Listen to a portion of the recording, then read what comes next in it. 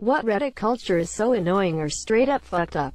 My friend told me I should post this thing I made here. My girlfriend said I should post this picture. So Reddit, meet my good boy. You don't need to pretend that you are a reluctant poster who is only sharing because you were urged to do so by a loved one.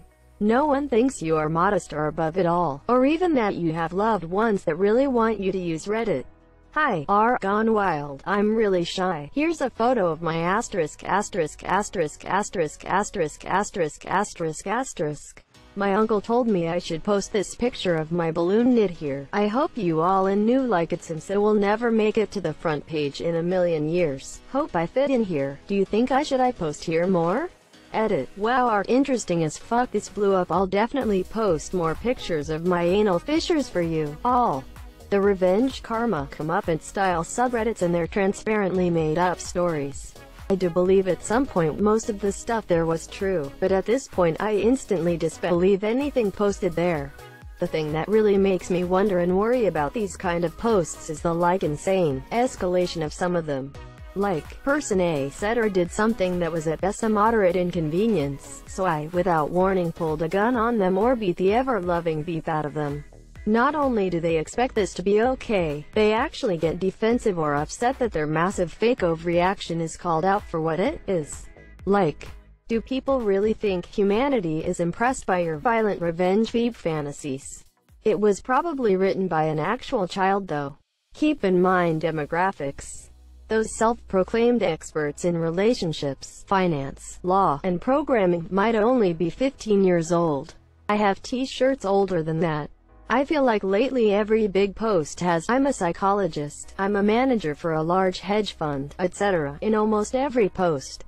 Who knows, maybe since it's a popular post there's a chance there are people who are experts in those fields, commenting. But just makes you wonder.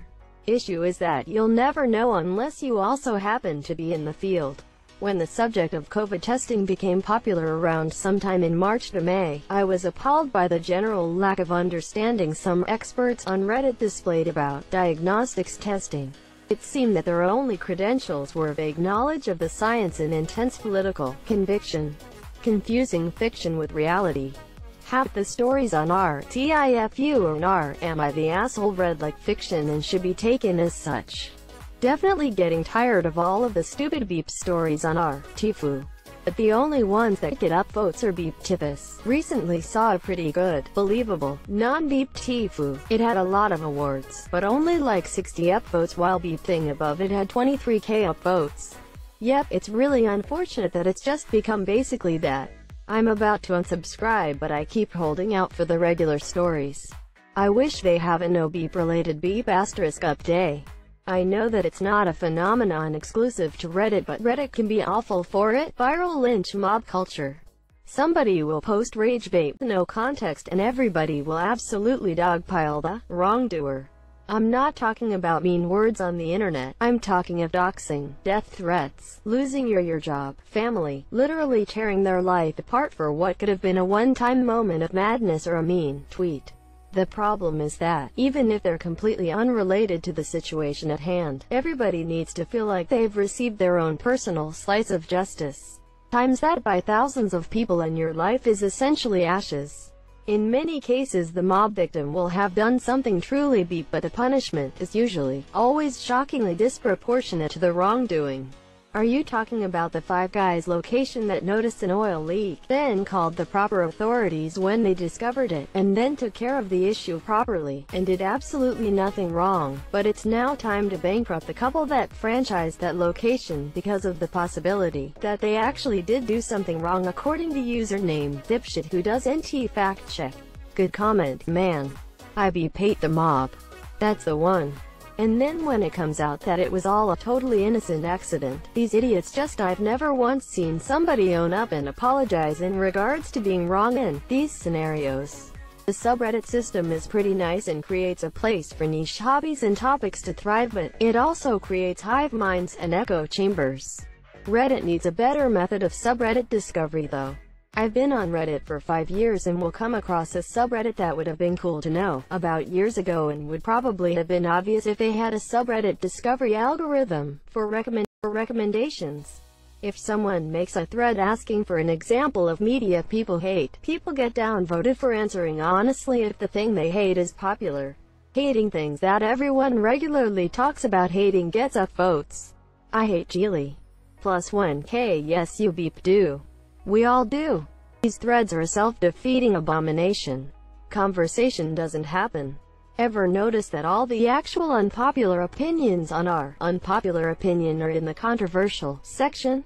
Or just join our the 10th dentist for some actual unpopular opinions. I don't want that subreddit to get a lot of traction cause we all know what happens to subreddits that get a lot of subs. See? This is so true it hurts.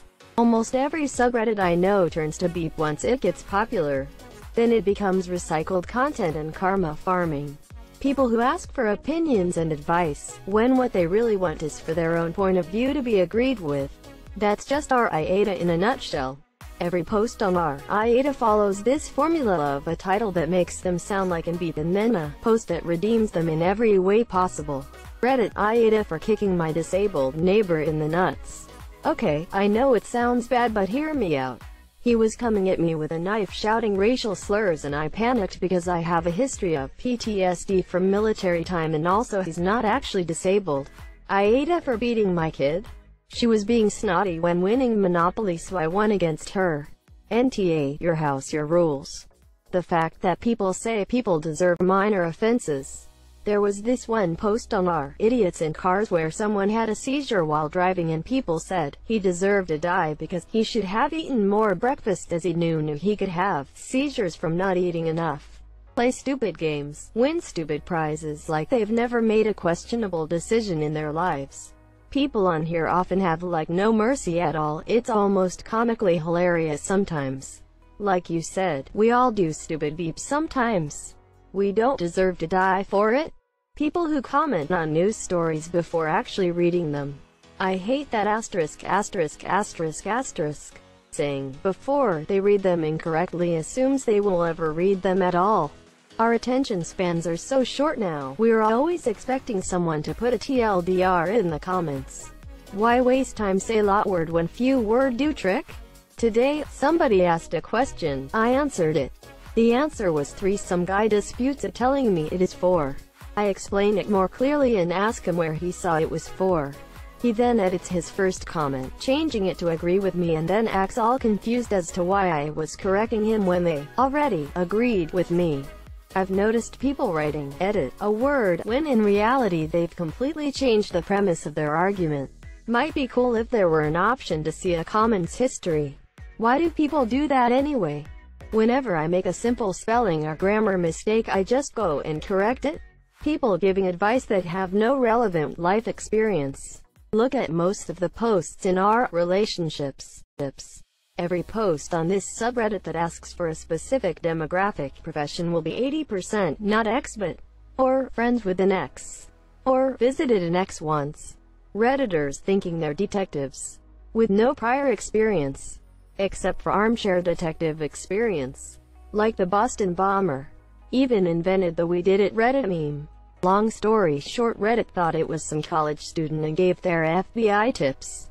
Turns out all Reddit did was take three FBI's time in tracking down the real suspects. The college kid had nothing to do with anything. The college kid killed himself days ago.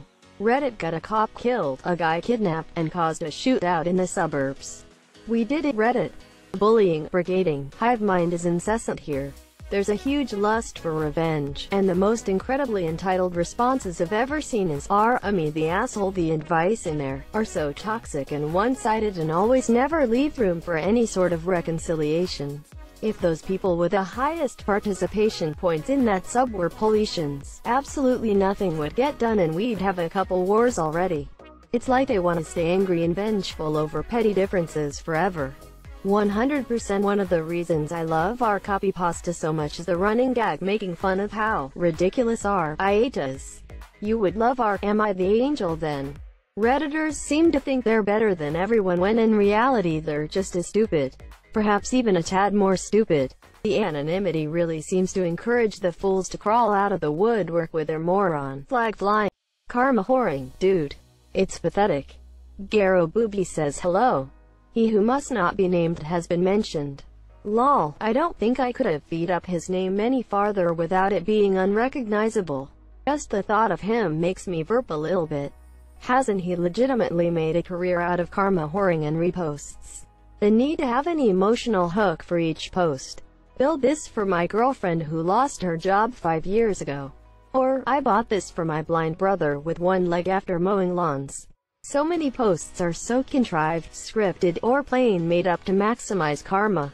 For nice pics without stupid stories visit our no context pics. For the same pics with hilarious captions check out our different underscore sob underscore story. Everyone sounds the same. True, I even have a special Redditor voice in my head when I read the comments. They all look like they've been written by the same person with 93,828,288,282 accounts. Holy beep I thought I was alone here I think it's because the website is really boring to look at, there are no visible profile pictures and people always talk a certain way edit of the comment. I didn't know you could see profile pictures on mobile now, I don't know what to think of it.